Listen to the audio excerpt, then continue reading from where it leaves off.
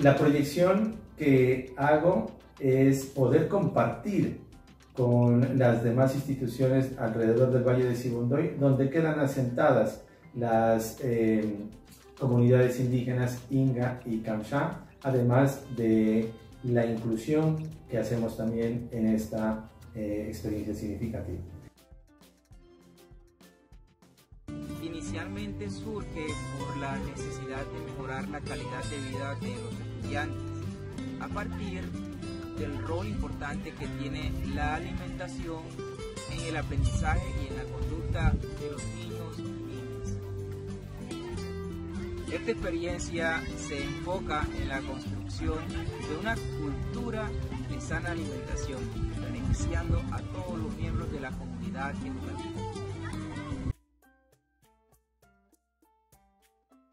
La institución educativa rural Porcito cuenta con estudiantes que al parecer han permitido que lo extraordinario se vuelva ordinario, y con ello su capacidad natural de sorprenderse y ser curioso. Por lo tanto, se pretende retomar lo extraordinario utilizando el STEM para desarrollar el pensamiento científico en un país donde el realismo mágico se niega a desaparecer. En el día de hoy vamos a hablar sobre los equipos de sonido, que son aparatos tecnológicos capaces de procesar señales de audio a través de los altavoces, que son los elementos fundamentales que ayudan a convertir una señal eléctrica en una onda sonora.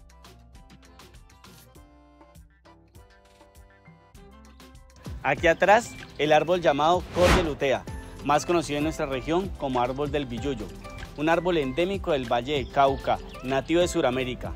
Su fruto antiguamente era utilizado como pegante, sobre todo en las épocas de agosto cuando se fabricaban cometas. Lamentablemente por múltiples factores como el calentamiento global, el cambio climático y el monocultivo de la caña de azúcar ha provocado que este árbol esté en vía de extinción. Nosotros nos hemos puesto la tarea de salvar este árbol mediante la utilización de recursos tecnológicos y aprendizajes STEM, para así evitar un daño en la biodiversidad del Valle del Cauca y sobre todo un caos en las redes tróficas.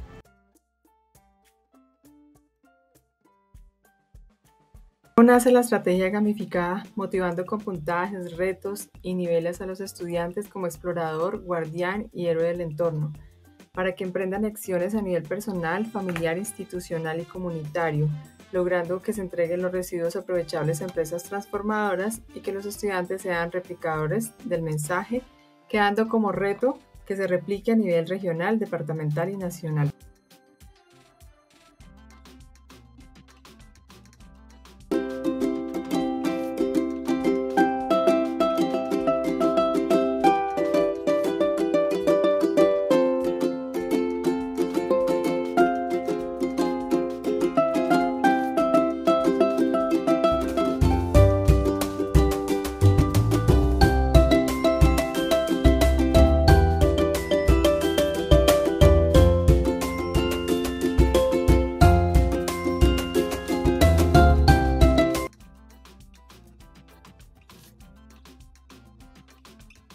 Esta es una tecnología que se le llama Microbit. La hace la BBC de Inglaterra. Precisamente la estamos aquí aplicando en la sede indígena Marruecos. Y aquí estamos usando la Microbit. Es un pequeño cortecito que podemos nosotros manejar dentro del salón de clase. Y pues aquí tenemos el sistema de ping dele ahí, dele, con la otra mano aquí. No, con la otra. Venga, Téngalo cogido ahí. Y le da con este dedo aquí. Dele ahí. Con el dedo, con este, dele aquí. Eso es.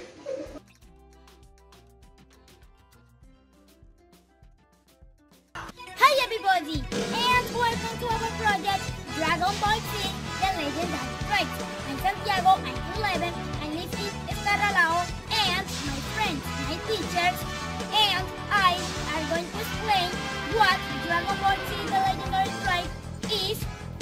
Welcome! Everybody, I'm Jason, I'm 13, I'm my leader of Valentia. Let's begin. Mr. Chica, what Dragon Ball Z The Legendary Strikes? Hi Jason, wow, Planet Namek looks really good. Hi, I'm Harry Chica and I'm a teacher of English as a foreign language in a school called La Pajuila located in a small town called Escarralao pretty close to Zaragoza. And our project is called Dragon Ball Z The Legendary Tribes. Dragon Ball Z The Legendary Tribes is a gamification of the teaching and learning of English as a foreign language. Colombia, potencia de la vida.